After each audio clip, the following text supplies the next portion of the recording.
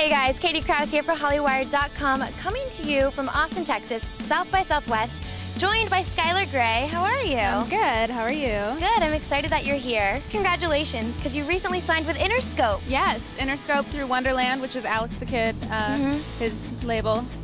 Well, some of your recent co-writes are very famous right now. Yeah, the first one that happened was Love the Way You Lie, Mhm. and I wrote that last spring. Alex Da Kid and I met over email Oh wow. because my publisher wanted us to meet, and uh, he sent me a track, and then I sent back the chorus to Love the You Lie. So it was the first thing we did together.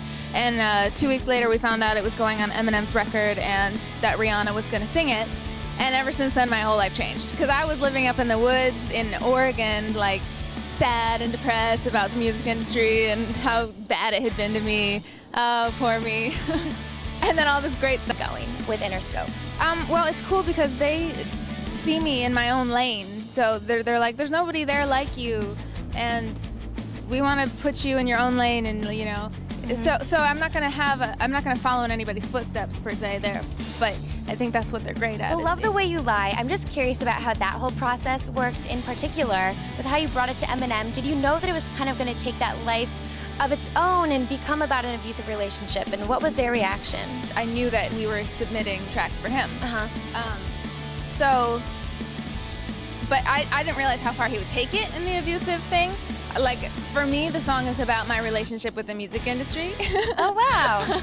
but for him, it's probably based on like real life experience with a person.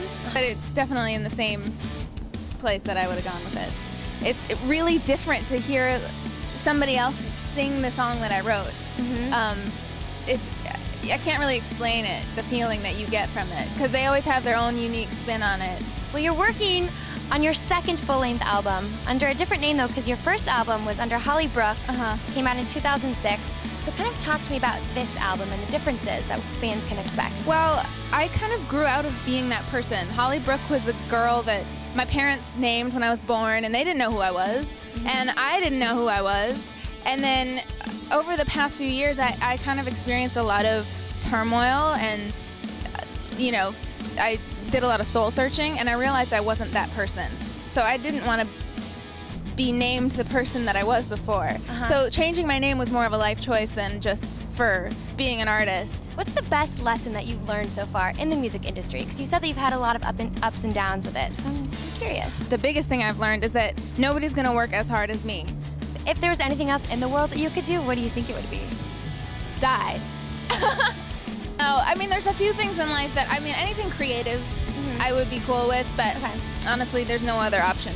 You know, the cool thing about, you know, writing these hip hop hooks is that I- I'm having, I have like a, weird fan base that I wouldn't have expected from like when I was Holly Brook. But where do you see yourself in the next five years? In the next five years, well, hopefully putting out album two or 3 Mhm. and uh, Some Grammys.